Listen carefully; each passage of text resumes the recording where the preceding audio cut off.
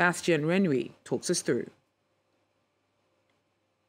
After weeks of debates, Somalia's MPs decided to change the constitution. The key amendments are in the first four chapters of the transitional constitution.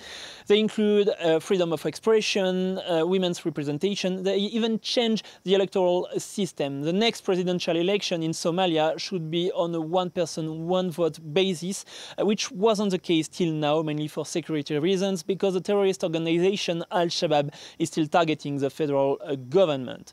In a joint statement, the international community, which includes uh, African Union, the United States, the United Kingdom, uh, said that they acknowledged uh, the intention of the federal government to make progress in finalizing its constitution. But not everyone is happy with these changes, mainly in Somalia, in Puntland region. It's a semi-autonomous uh, state located in the northern part of Somalia. The local government published a statement saying that Puntland will have the power of a full independent government until there is a federal system of government agreed upon, a constitution agreed by Somalis and approved through a referendum in which uh, Puntland is part of. So what's going to happen next? It's impossible to say so far.